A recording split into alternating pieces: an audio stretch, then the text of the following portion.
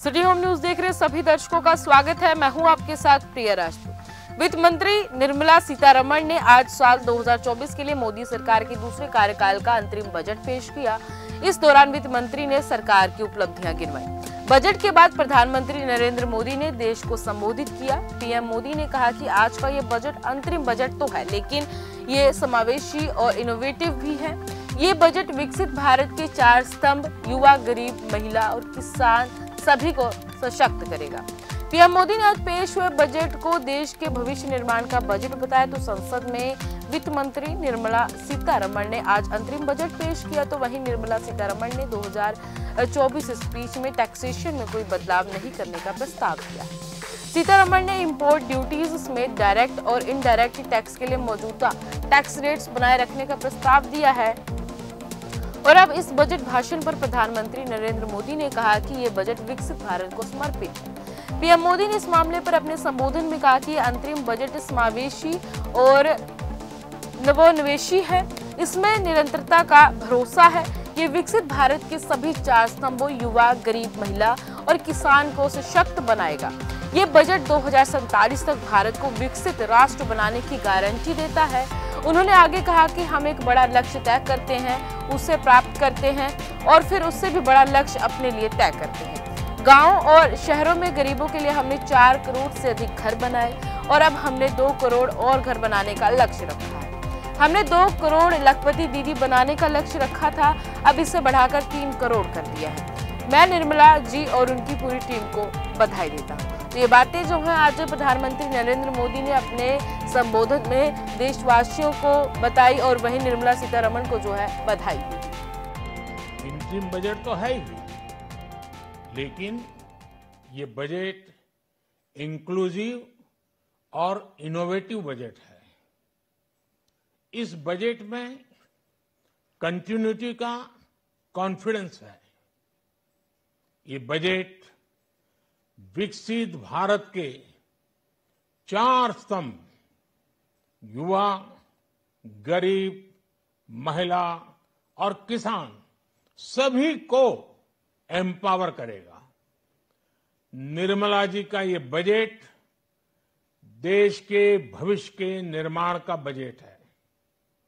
इस बजट में 2047 के विकसित भारत की नींव को मज़बूत करने की गारंटी है।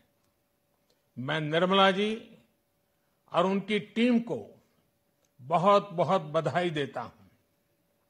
साथियों, इस बजट में युवा भारत की युवा आकांक्षाओं का, भारत की यंग एस्पिरेशंस का प्रतिबिंब है। बजट में दो महत्वपूर्ण निर्णय ले गए हैं। रिसर्च और इनोवेशन पर एक लाख करोड़ रुपए का फंड बनाने की घोषणा की गई है। बजट में स्टार्टअप्स को मिलने वाली टैक्स छूट के विस्तार का भी ऐलान किया गया है।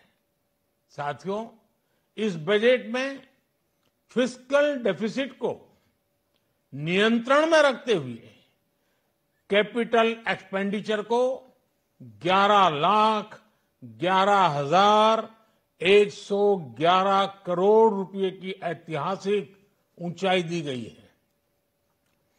अर्थशास्त्रियों की भाषा में कहें तो एक प्रकार से स्वीट स्पॉट है।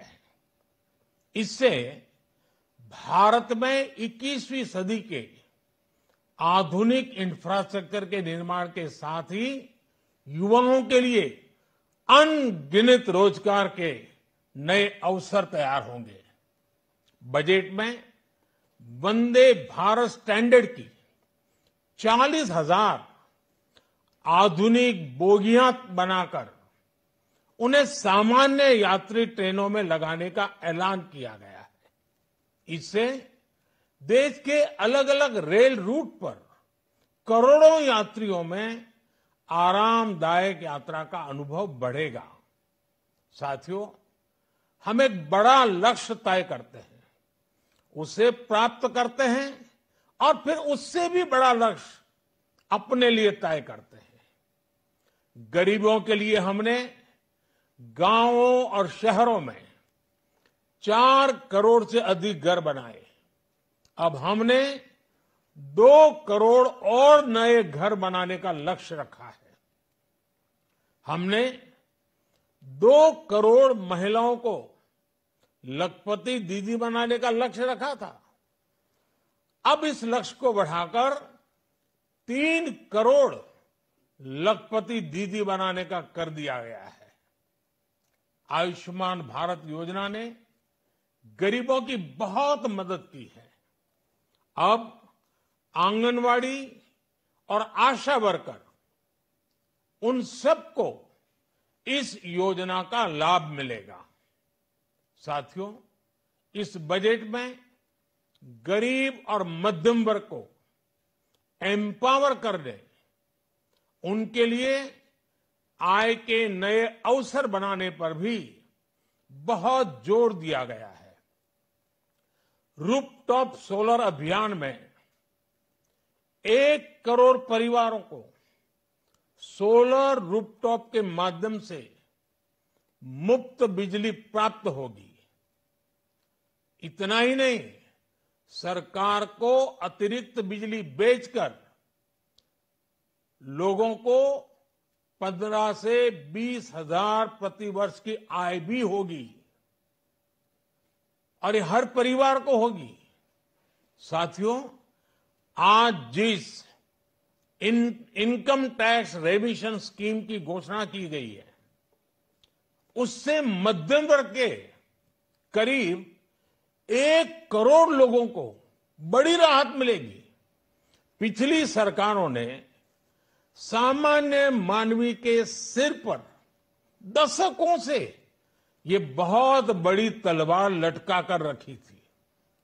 आज इस बजट में किसानों के लिए भी बहुत महत्वपूर्ण और बड़े निर्णय लिए गए हैं। नैनो डीएपी का उपयोग हो, पशुओं के लिए नई योजना हो, पीएम मत्स्य संपदा योजना का विस्तार हो, और आत्मनिर्भर ऑयल सीड अभियान हो। इससे किसानों की आय बढ़ेगी और खर्च कम होगा। मैं एक बार फिर सभी देशवासियों को इस ऐतिहासिक बजट के लिए शुभकामनाएँ देता हूँ। बहुत बहुत धन्यवाद।